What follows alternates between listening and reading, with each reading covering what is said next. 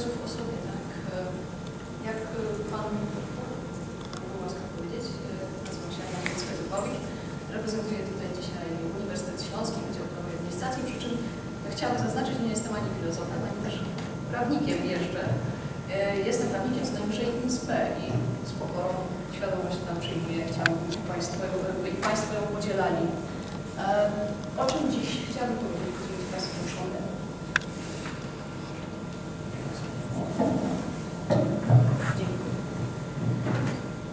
O problemie paternalizmu prawa, przy czym nie z tej standardowej, liberalistycznej perspektywy, ale z perspektywy ustrojowej.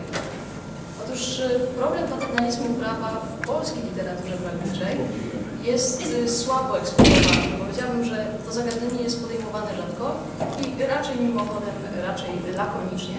Na ogół w pracach poświęconych właśnie zagadnieniom doktryny liberalnej albo tematyce granic ingerencji w sferę autonomii jednostki ze strony państwa. By podjąć próbę rozpatrzenia tego problemu z perspektywy ustrojowej właśnie, warto ustalić najpierw, czym w istocie paternalizm jest i jakie znaczenie przywiązujemy do tego pojęcia. No i do kogo by sięgnąć, jeśli nie do autora, który to pojęcie wprowadził do współczesnej dyskusji filozoficzno-prawnej na gruncie anglosaskim. To znaczy do profesora Geralda Dworkina. I Gerald Dworkin przez paternalizm rozumie ingerencję w sferę wolności działania jednostki uzasadnianą wyłącznie względem na jej własne dobro i inne wartości, takie jak szczęście, potrzeby, interes. Zatem ingerencja paternalistyczna ma miejsce wyłącznie wtedy, kiedy motywowana jest przez wzgląd na dobro jednostki, której sfera autonomii w ten sposób ograniczamy.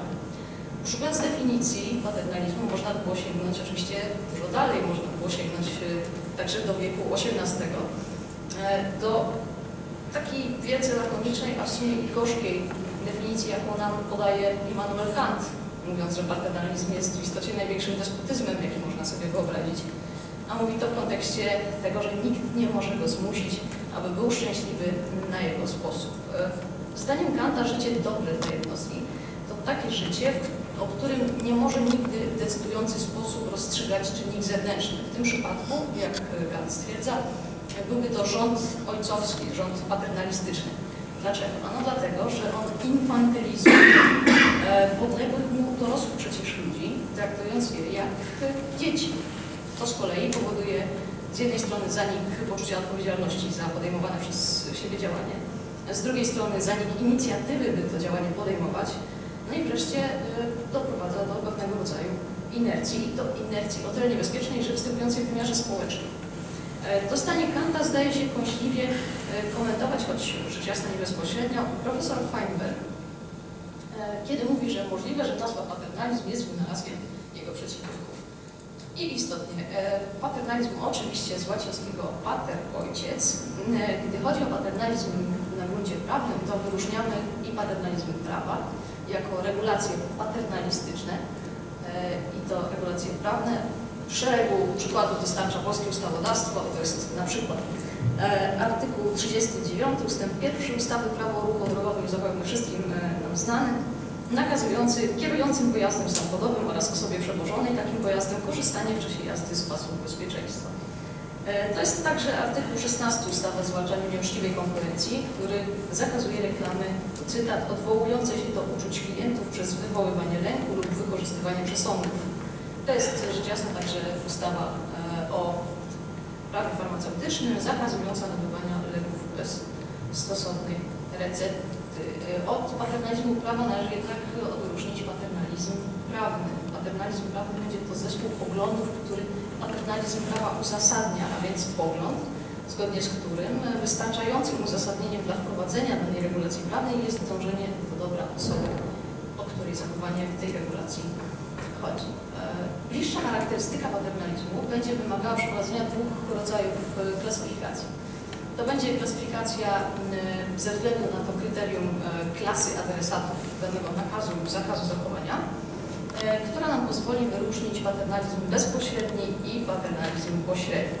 W pierwszym przypadku ta klasa adresatów nakazu lub zakazu regulacji paternalistycznej oraz y, klasa adresat, znaczy klasa osób, o których dobro w danej regulacji chodzi, będą się pokrywać, będą zbieżne. Natomiast w przypadku paternalizmu pośredniego one pozostają e, rozdzielne, ponieważ dla dobra pewnej grupy podmiotów ustanawiamy obowiązki lub ograniczenia, które uniemożliwiają przy udziale innych lub za sprawą innych wyrządzenie im krzywdy. I tu kardynalnym przykładem może być nakaz zamieszczania na paczkach papierosów ostrzeżeń o niebezpieczeństwach wynikających z, z nałogu, z e, informacji o szkodliwości palenia, przy czym ten nakaz jest adresowany do producentów tych wyrobów tytoniowych, e, a ustanawiany przez wzgląd na dobro konsumentów. E, dalej, drugi podział, równie kluczowy, jest to podział na paternalizm twardy i paternalizm miękki. E, Paternalizm twardy polega na wprowadzeniu nakazów lub zakazów zachowania uznawanego za prowadzące do realizacji jakiegoś dobra lub zła osoby, wobec której takie nakazy lub zakazy są ustanawiane. Z kolei paternalizm miękki skupia się na tym, by kształtować w podmiocie świadomość konsekwencji jego zachowania. No zatem zapewnić, by on podejmując określone zachowanie, m, zdawał sobie sprawę z jego konsekwencji, podejmował je świadomie, e, w sposób przemyślany jednocześnie nie pozbawiając go prawa do samodzielnej decyzji, by to zachowanie ostatecznie podjąć. Tu przykładem dobrym, myślę, choć mam nadzieję nie wszystkim Państwu znanym, jest obowiązkowe posiedzenie pojednawcze przed rozprawą rozwodową. E, Gdy idzie o uzasadnienie paternalizmu, to bywa rozmaite.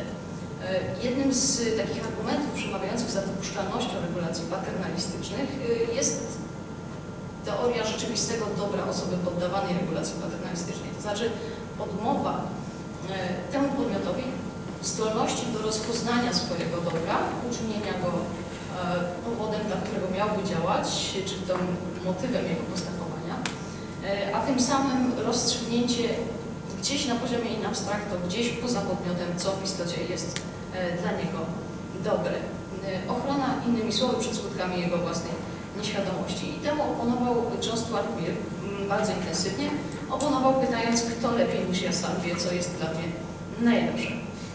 E, Gdy chodzi o drugi rodzaj uzasadnienia paternalizmu, to ochrona wolności jednostki. Przy czym ochrona wolności paradoksalnie ograniczamy wolność po to, by ją chronić. E, Chodzi jednak o te aktualne ograniczenie, o to aktualne ograniczenie, które jest rekompensowane przez e, perspektywę poszerzonej wolności przyszłości. I tak na przykład chociażby ostrzeżenia szkodliwości palenia, o możliwości popadnięcia w nauk, ponieważ nauk jest siłą rzeczy istotnym ograniczeniem wolności jednostki, o którym być może nieuświadomiona, czy na które nieuświadomiona na obecnym etapie ona się decyduje, zaczynając e, palić. Stąd problem paternalizmu na gruncie polskiej konstytucji można by rozważać na tle przepisów rozdziału drugiego, to znaczy rozdziału zatytułowanego Wolności, prawa i obowiązki człowieka i obywatela, zwłaszcza uważanego za grunt normę, o czym pan profesor Piechow jakby dzisiaj wspominał, artykułu 30 konstytuującego tę e, ideę przyrodzonej, niezbywalnej, nienaruszalnej i powszechnej godności człowieka, e, albo też na gruncie artykułu 31 ustęp pierwszy, zwłaszcza ustanawiającego prawną ochronę wolności człowieka. E, Dlaczego zatem ja proponuję rozważenie problemu paternalizmu prawa na gruncie artykułu drugiego? E, Proponuję przyjrzeć się jego treści.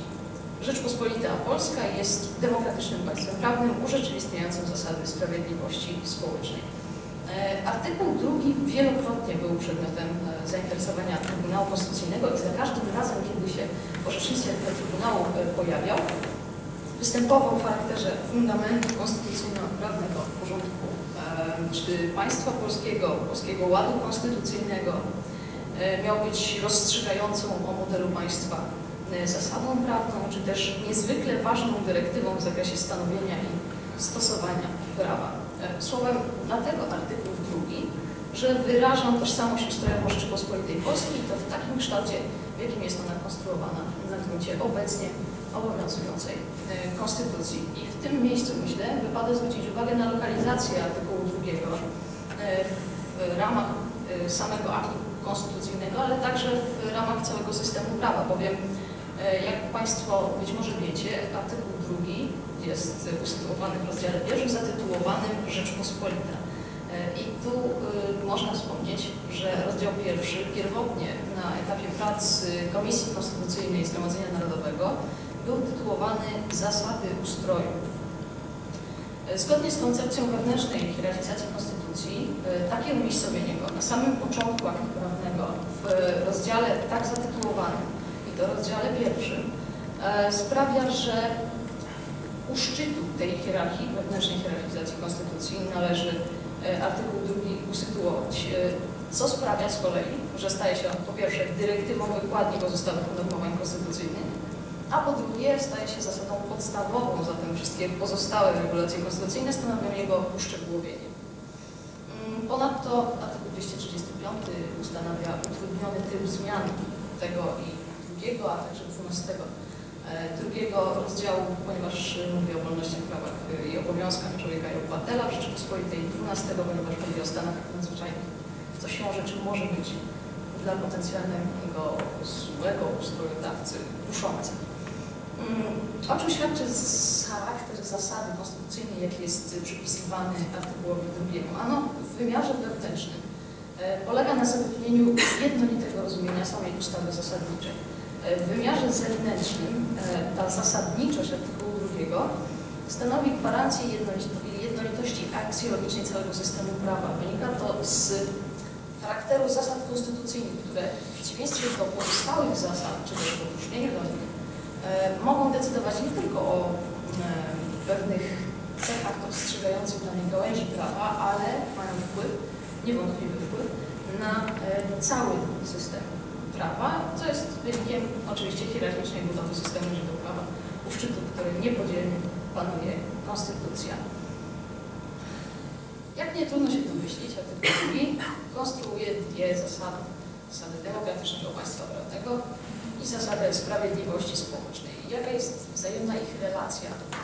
E, wskazuje się na związek celowości. Na związek celowości wyrażany w tym, że demokratyczne państwo prawne ma za zadanie realizować zasady sprawiedliwości społecznej, a posługując się sformułowaniem konstytucyjnym urzeczywistniać je. E, Trybunał Konstytucyjny w swoim orzecznictwie podkreśla wręcz, że państwo nieurzeczywistniające zasady sprawiedliwości społecznej nie może być uznawane za demokratyczne państwo e, prawne. I osobne rozważenie e, problemu tle kolejno zasady sprawiedliwości społecznej i zasady demokratycznego państwa prawnego w moim przypadku dziś jest motywowane właśnie wyłącznie względami przejrzystości wywodów, bo uważam, to jest y, również stanowisko Trybunału Konstytucyjnego, że one ustrojowo rzecz biorąc są po prostu nie, w nierozerwalnym związku. Zatem zasada sprawiedliwości społecznej. E, w perspektywie problemu paternalizmu prawa ta zasada konstruuje kategorię tak zwanego dobra wspólnego. I zgodnie z orzecznictwem Trybunału Konstytucyjnego jest ona czynnikiem prowadzącym do słusznego lub inaczej sprawiedliwego wyważenia interesu ogółu, czyli owego dobra wspólnego i interesów jednostki. Jaka jest tego konsekwencja? Konsekwencją tego jest wymaganie, byśmy badali zarówno skutek danej regulacji po stronie jednostki, jak i skutki w sferze innych podmiotów, a szerzej w sferze dobra wspólnego właśnie.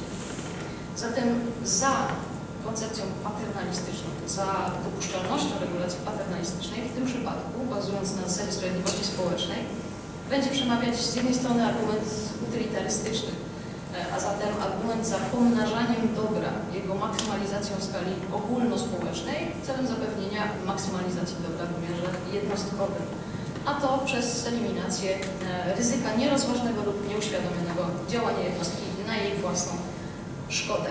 I tu niezupełnie oczywista w perspektywie takiej mm, limitacji paternalizmu prawa e, jest odpowiedź na pytanie sformułowane dość kąśliwie przez profesora Feinberga, już dziś wspomnianego, czy lepiej by dziesięciu zrujnowało sobie życie nieumiejętnie korzystając ze swojej wolności, czy też by jeden umiejący z niej korzystać został w niej niesprawiedliwie ograniczony. I drugi z argumentów przemawiających za dopuszczalnością tej regulacji paternalistycznej to argument społecznych konsekwencji krzywdy jednostkowej.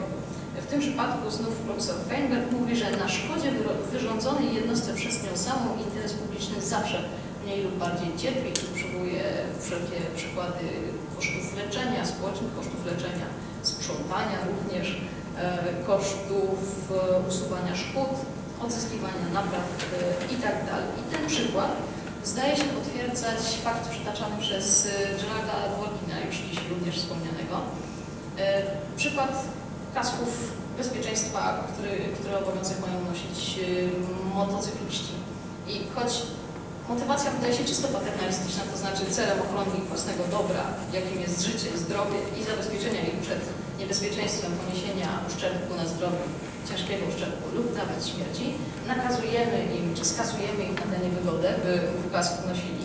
E, Tymczasem Sąd Najwyższy stanu Rhode Island, jak powołuje Dworkin, e, podniósł w uzasadnieniu jednego z wyroków, że nakaz ten bazuje nie na trosce o ich własne dobro, ale o to, by owi poszkodowani wskutek własnych nierozsądnych działań motocykliści nie stali się obciążeniem dla społeczeństwa, inaczej mówiąc systemu społecznego.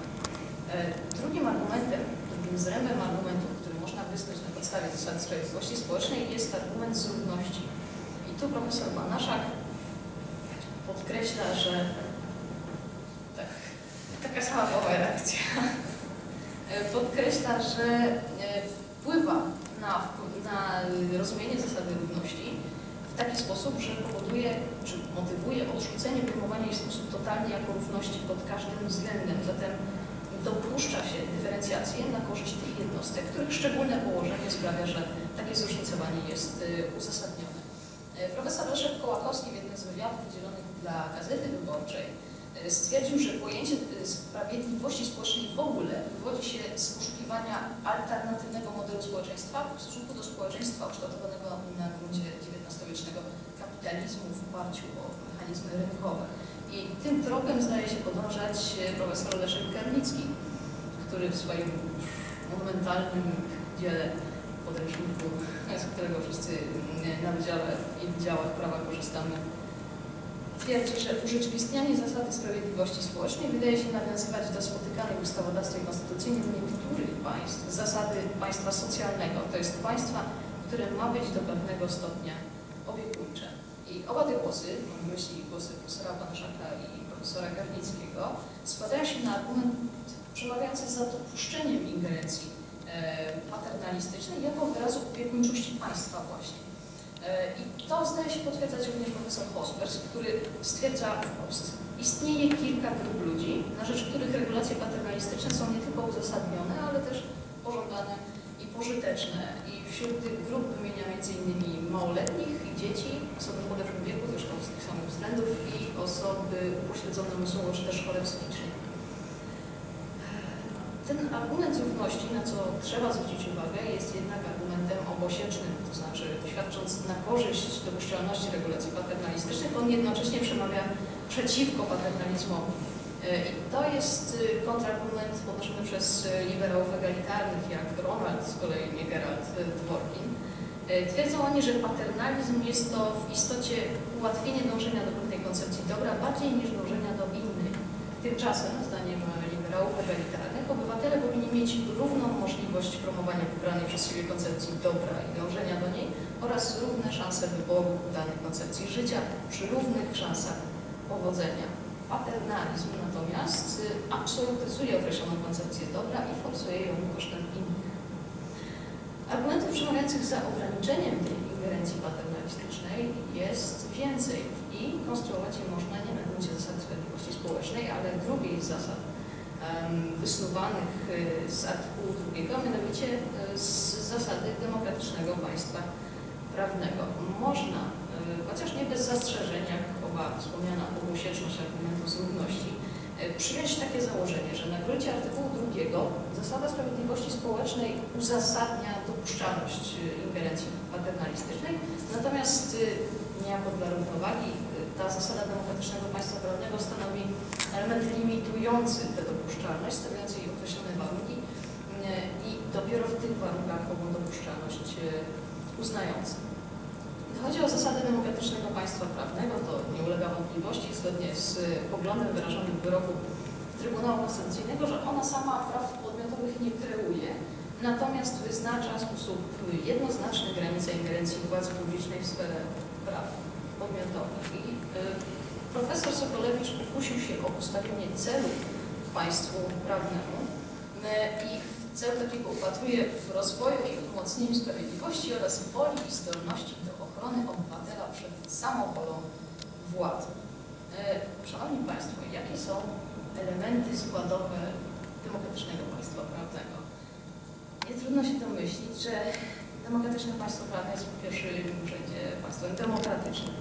E, I w rozumieniu współczesnej demokracji e, będą to rządy większości przy respektowaniu jednak, więc przy poszanowaniu praw mniejszości.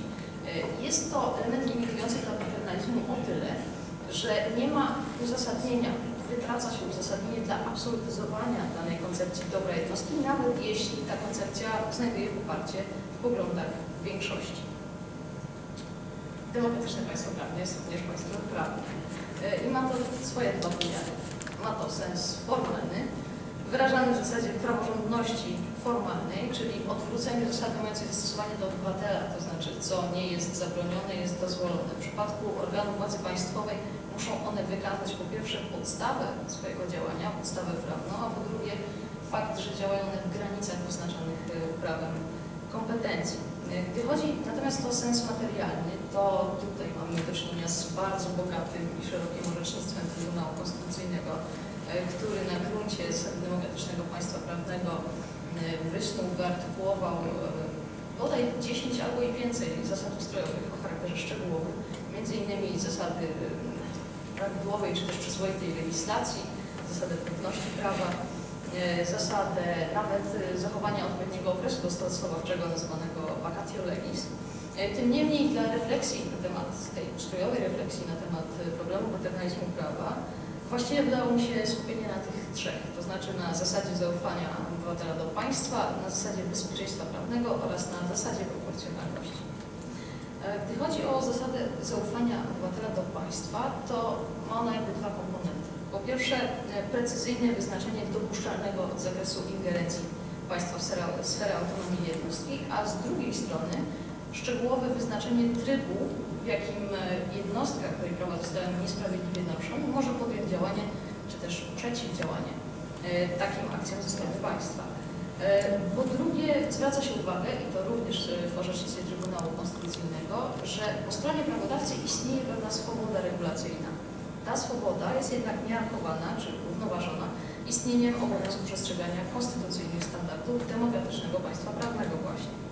Z kolei, gdy chodzi o bezpieczeństwo prawne, to inaczej mówiąc pewność prawa. I tutaj również Trybunał Konstytucyjny zajmuje stanowisko, że szacunku dla jednostki jako autonomicznej i racjonalnej istoty domaga się jej godność. A poza tym domaga się również e, jej wolność, która wyraża się w tym, że jednostka według własnych preferencji układa swoje sprawy i ponosi odpowiedzialność za swoje decyzje. Więc stanowisko ustrojodawcy, stanowisko Trybunału Konstytucyjnego e, określającego intencję ustrojodawcy jest ściśle antypaternalistyczne i stoi po stronie absolutnej autonomii jednostki, która podejmując określone działanie lub zaniechanie jest za nie w pełni odpowiedzialna. I tej ostatniej zasadzie, zasadzie proporcjonalności, ze względu na jej szczególną wagę dla rozważanego problemu, myślę poświęcić nieco więcej miejsca. Gdy chodzi o obiad, no tak, oczywiście, już się śpieszę. Zasada proporcjonalności. Pięć warunków, mieli Państwo. E, I to takich, które muszą być kumulatywnie spełnione, by daną e, regulację można było uznać za proporcjonalną, a więc spełniającą ten warunek stawiany jej przez zasadę demokratycznego państwa prawnego. A więc po pierwsze cel. Ten cel musi być z prawem zgodny. Jest to oczywiście cel ze względu na który daną regulację ograniczającą wolność lub prawo ustanawiamy. Dalej środki. Środki to inaczej mówiąc prawne nakazy lub zakazy właściwe dla realizacji owego wyznaczonego celu. Trzecia sprawa to przydatność, a zatem z jednej strony możliwość zrealizowania założonego celu, a z drugiej strony odpowiedni dobór środków, które do tego celu się nadają. Wreszcie konieczność, to znaczy zastosowanie najmniejszego możliwego ograniczenia przy osiągnięciu dostatecznego, a więc koniecznego efektu. I wreszcie proporcjonalność sensu stricto, nazywana również e, zakazem nadmiernej ingerencji. E, Chodzi tu o konieczność zachowania proporcji pomiędzy ograniczeniem wolności, a celem takiej regulacji. Należy więc rozważyć dwie kwestie. Z jednej strony wagę tych kolidujących wartości, a z drugiej strony stopień ich obecnej i możliwej realizacji. Z- Zatem konieczny jest tutaj rachunek aksjologiczny I im cenniejsza jest wartość poświęcana, im wyższy stopień jej naruszenia, tym ta druga wartość musi być cenniejsza, a stopień realizacji bardziej prawdopodobny. Konieczna jest zatem uprzednia konfrontacja praw i wolności ograniczanych z wartościami ideowymi chronionymi daną regulacją. Rzecz jasna, co bardzo ważne, przy uwzględnieniu aksjologii całej Konstytucji. I dla aksjologii tej, z punktu widzenia problemu paternalizmu prawa, kluczowe znaczenie mają dwa przepisy. Chodzi o artykuł drugi, dziś wspominany bardzo często, i o artykuł 30 również dziś wspominany dość często. E, przy czym artykuł drugi jest wyrazem samoograniczenia państwa na poziomie organizacyjnym, ustrojowym, kompetencyjnym i to o charakterze konstytutywnym w tym sensie, że jest pozytywną decyzją prawodawcy i to też w rozumieniu jakby nomenklatury tego dialogu między naturalizmem a doktryną pozytywizmu prawnego. Natomiast y, artykuł 30 w tym samym rozumieniu ma charakter deklaratoryjny, a zatem e, w obliczu tej, tych cech przyrodzoności, niezbywalności, nienaruszalności powszechnej, powszechności, godności ludzkiej, y, jest ona pierwotna w stosunku do prawa pozytywnego i może być co najwyżej deklarowana, ponieważ same jej korzenie sięgają prawa naturalnego. E, I te dwa artykuły konstruują dwa bieguny gwarancji limitujących dopuszczalność regulacji paternalistycznej, a więc limitujących dozwoloną ingerencję w sferę wolności jednostki. Bo to, Szanowni Państwo, właśnie o wolność chodzi. Wolność jest y, w kontekście problemu paternalizmu prawa y, tym centralnym pojęciem. Y, jest to wartość, którą regulacja paternalistyczna godzi zawsze, ponieważ wynika to z istoty paternalizmu, by ograniczyć spektrum opcji przysługujących jednostce co do wyboru jakiegoś jej postępowania, które potencjalnie może jej wyrządzić krzywdę. E, warto przy tym pamiętać, że nośnikiem wolności i, co za tym idzie, będącej źródłem tej wolności i godności jest zawsze podmiot, osoba. Jest to być może tym bardziej warte zapamiętania w kontekście słów Gustawa Radbrucha, pobrzmiewających nieco jak przestroga, a on w swojej filozofii prawa pisał tak. Prawnik spogląda na ludzkie indywiduum i poszczególny przypadek przez okulary pojęć ogólnych, jakimi operuje ustawa. Jest to gęsto utkana zasłona, która pozwala dostrzec wyłącznie zarys i kontur. To właśnie oznacza przepaska na oczach Dewina. Dziękuję.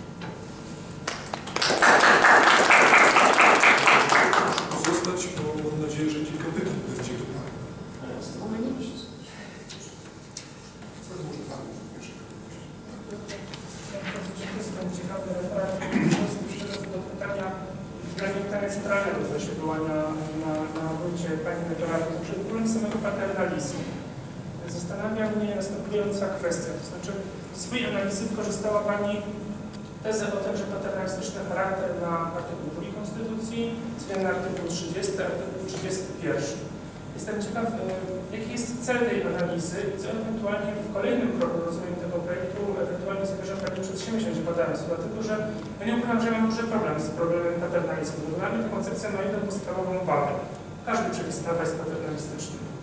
Jeżeli w kodeksie ruchu drogowego ustawodawca każe jeździć prawą, prawą stroną jezdni, robi to po to, żebyśmy wszyscy byli bezpieczni. Ja jestem chroniony paternalistycznie przez ustawodawcę, że każdy użytkownik drogi na tej sali będzie jechał po prawej stronie swojego odcinka drogi, a ja jadąc po swojej stronie w przeciwnym kierunku prawej stronie się nie wrobię czołowym z państwa.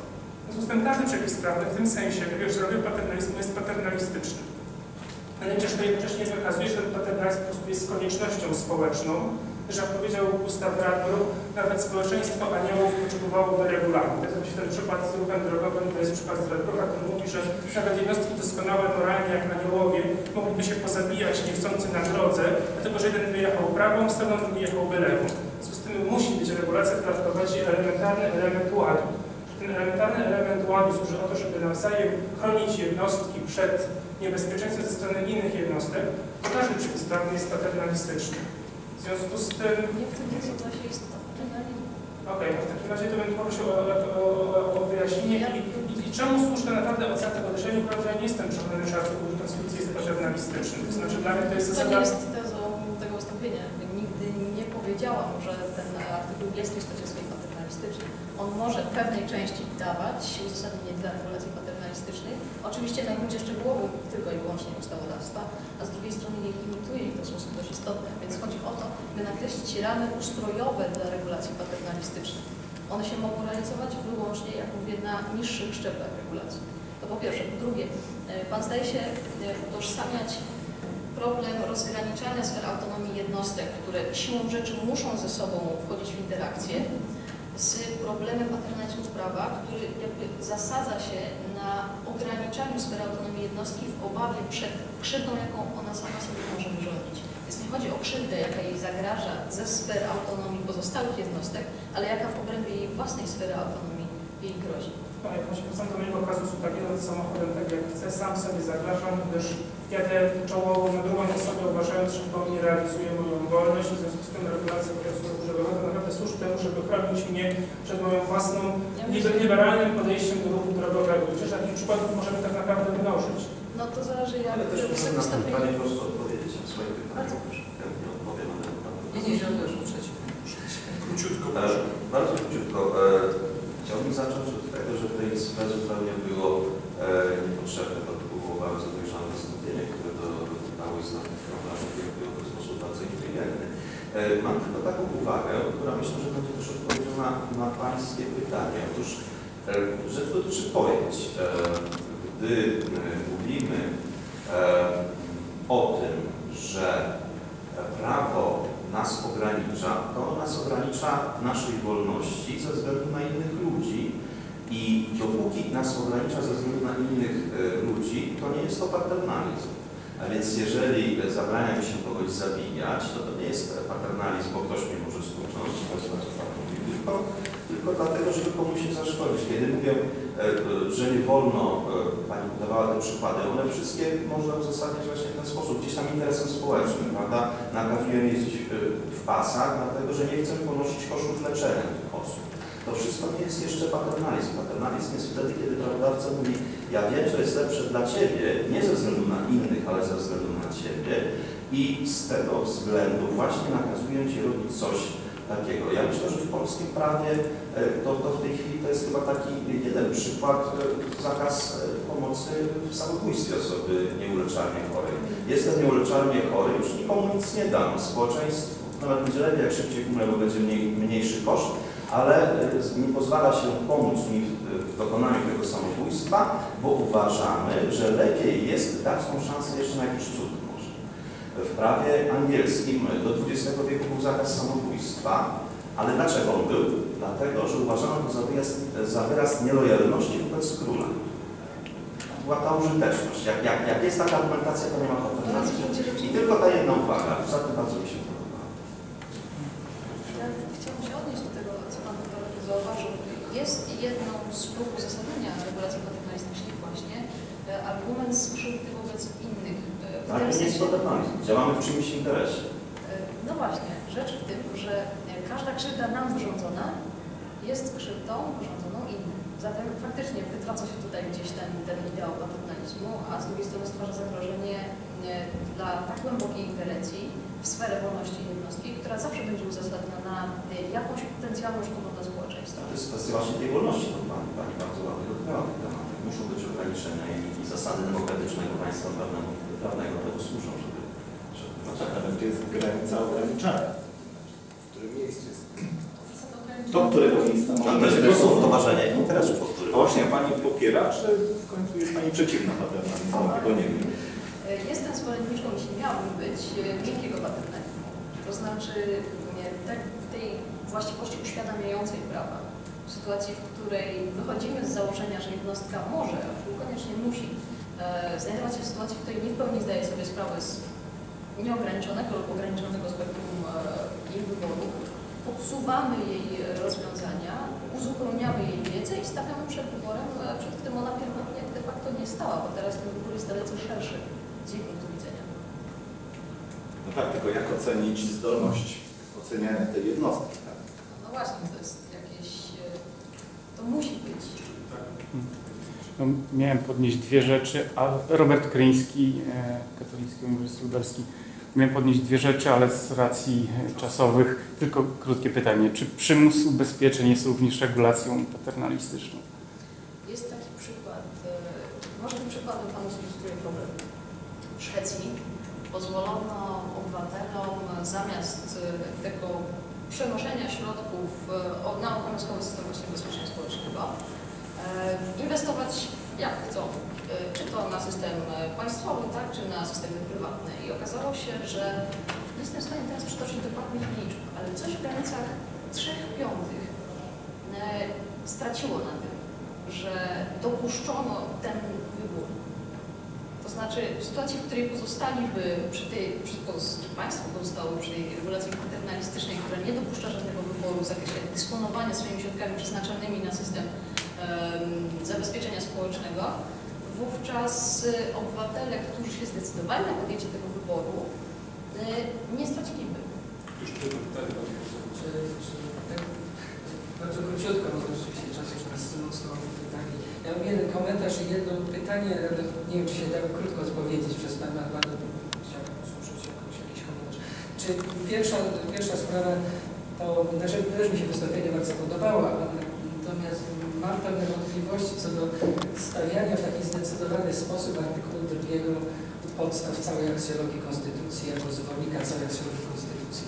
Ja tutaj do domu słucham, powiem, że w marcu wyszła w Trybunale Konstytucyjnym moja monografia 500 stron dobro wspólne jako fundament polskiego porządku konstytucyjnego, gdzie szeroko uzasadniam, że to jednak artykuł pierwszy, prawda? I tak no, trzeba ten problem jakoś, nie, nie, nie stawiać tego tak gładko, no, można się ze mną nie zgadzać z, z tezami mojej książki, ale, ale można, ale trzeba ten problem podjąć jakoś. Także to, to jedna uwaga, ale prawda jest taka, że jak dotąd, myślę, że przed tą moją monografią to jest standardowy pogląd, że ten artykuł drugi to jest podstaw.